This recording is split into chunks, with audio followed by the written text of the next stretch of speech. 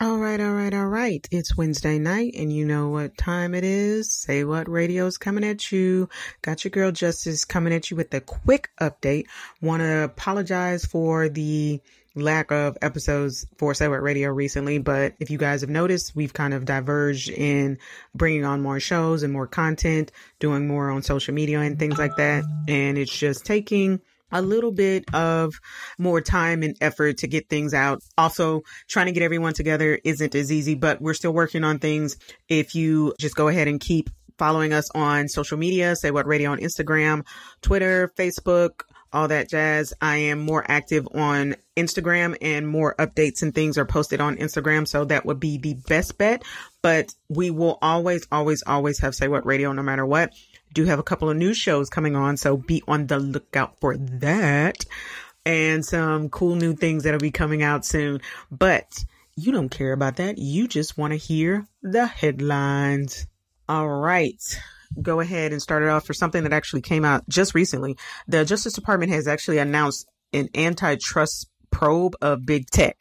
The occupant of the White House has been very, very adamant about big tech being a problem, namely places, social media such as Facebook, Instagram, Snapchat, and things like that.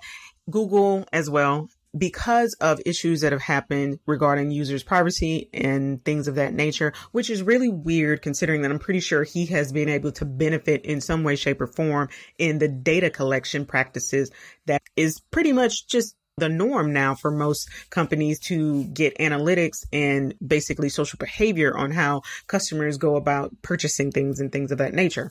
So I thought that was a, mm, I don't know. You guys already know how most of the people here on What Radio feels about him, but to be fair and honest, because like I say, we report the news. We can say what we want and how we feel on the news, but we report the news for the most part to you guys just to give you a full round spectrum of everything going on in the world and then give our perspective. But be on the lookout that I'm pretty sure this is going to be a little bit of blowback. How it's going to happen, I do not know. Just keep a lookout for that. Another thing that dropped and I was loving was the trailer for the Harriet Tubman biopic.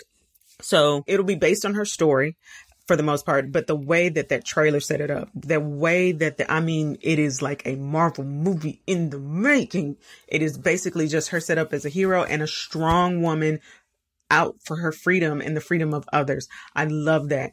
Growing up as a kid, Harriet Tubman was someone that you always were told about if you are African American, black, for the most part. It was, you know, her praises and her accomplishments were sung to the highest degree.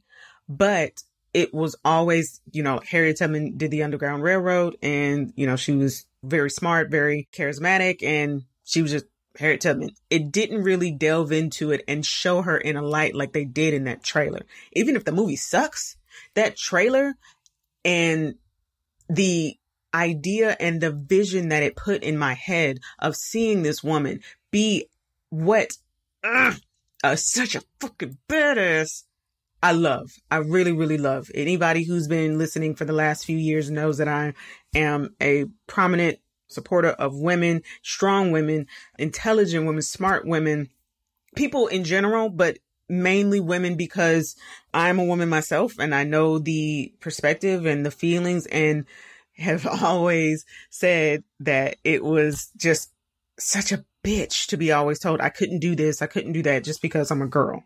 So seeing this just really kind of lit the fire in me. And I swear to God, I still have goosebumps watching it. I watched it a little bit before starting this podcast. I watched it earlier, but I watched it again and just, man, it just lit me on fire. And basically, I'm going to use that as my theme song every time now. I loved it, loved it, loved it. Can't actually wait to see it.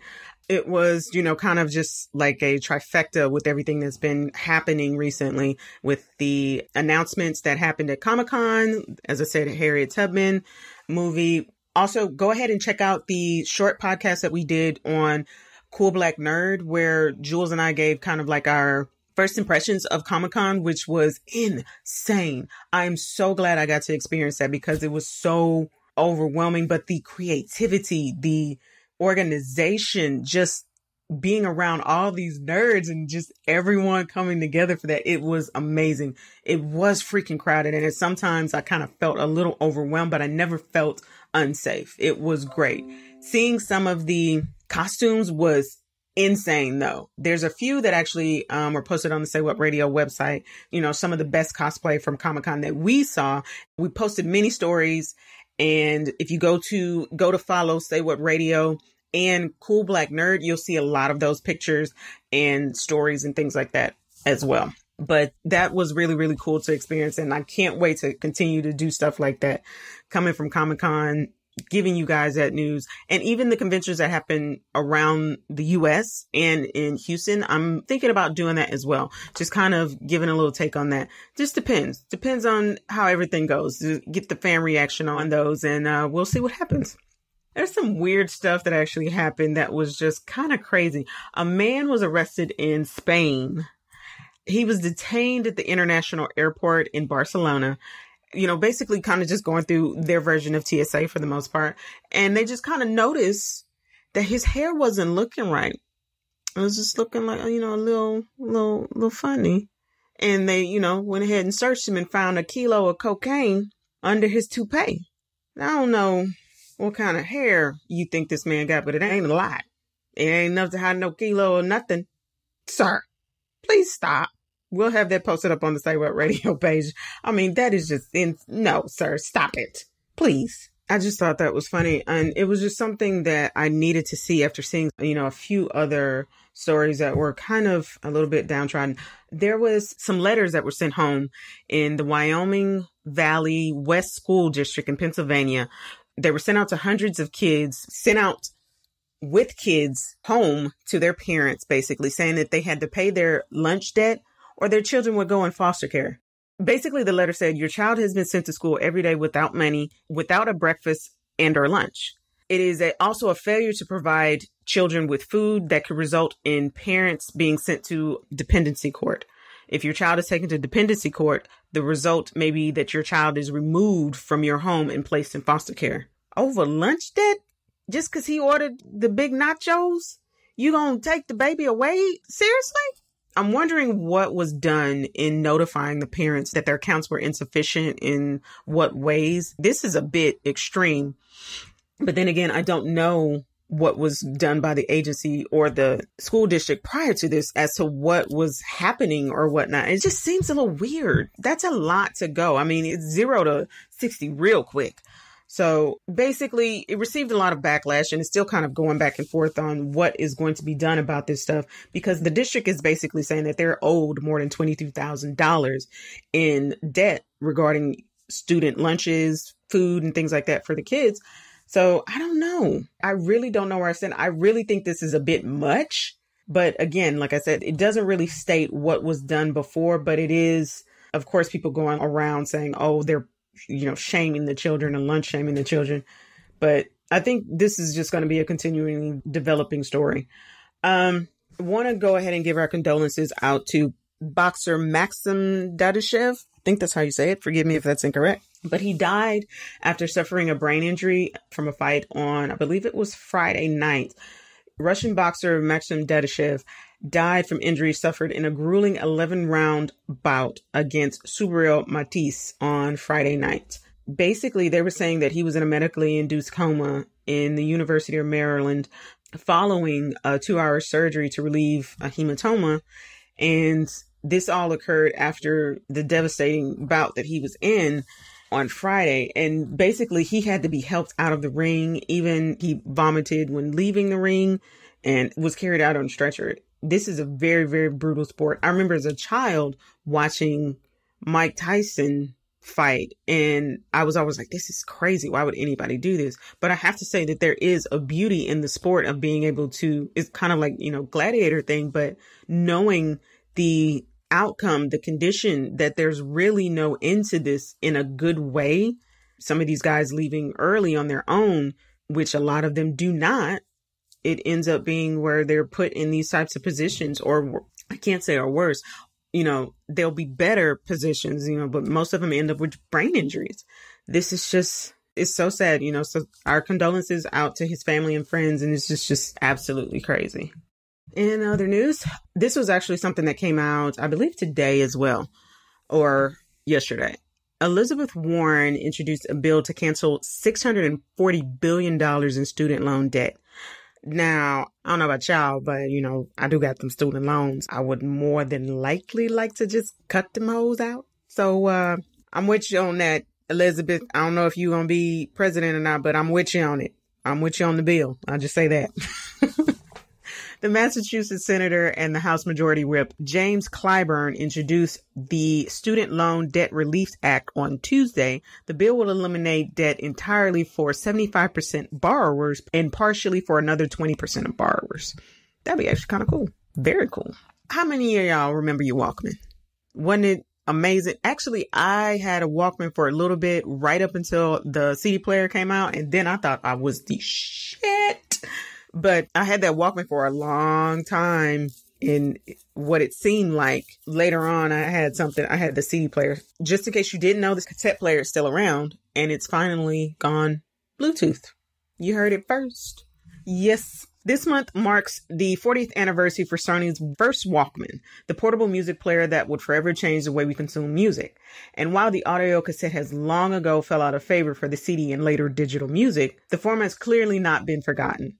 It may not have been the same audiophile cache as the vinyl LP, but a small and passionate contingent group of music listeners are still keeping the fire burning. There's a company called Nim Labs. Basically, if I'm not mistaken, they have come together to make a Bluetooth cassette player. Yeah. It actually looks kind of cool to have. I don't know if I would actually still do it they did a Kickstarter for it. It starts at $63 for pre-orders, but you know, the way Kickstarter is, I don't know. It's pricey for it, but if you want it, there's the ability to have it. I will post this on the What Radio page for you guys take a look at it. Um, oh Lord, I saw this and just could not believe it. So everyone knows that traffic is getting ridiculous in most cities. Here in Houston, it is insane. Of course, it's worse in other places, but for us, considering that it wasn't as bad previously, it's just getting a lot worse now. So, a man in Nevada tried to forego this issue by using a hearse with a deceased passenger in the back, saying that is why he should use the carpool lane.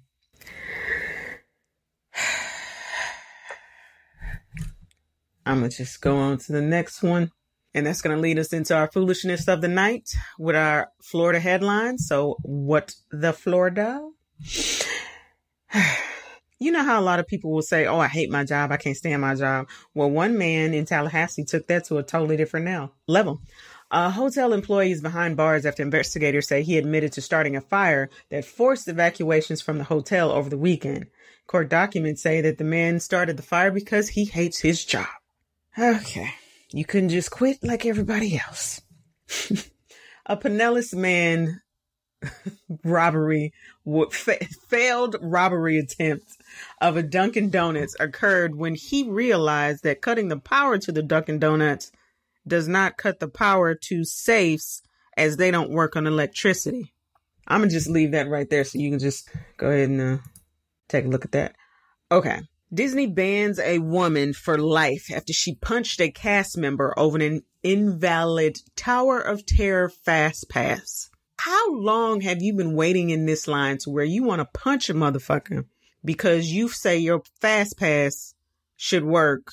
Them lines be long, but you also know, hey, if that says be here by such and such and you're not there, that's your fault you know, he's gonna punch somebody. There was a fight that was showing on Disney World, I believe. I can never remember which one is which. Which one is in California? Which one is in Orlando? This one actually happened in Orlando. But there was one that was shown recently where the entire family just broke out into a complete brawl. It was insane.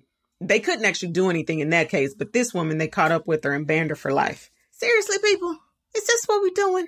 It's 2019, about to be 2020. Come on, let's do better. Those your headlines for the week of July 21st, 2019.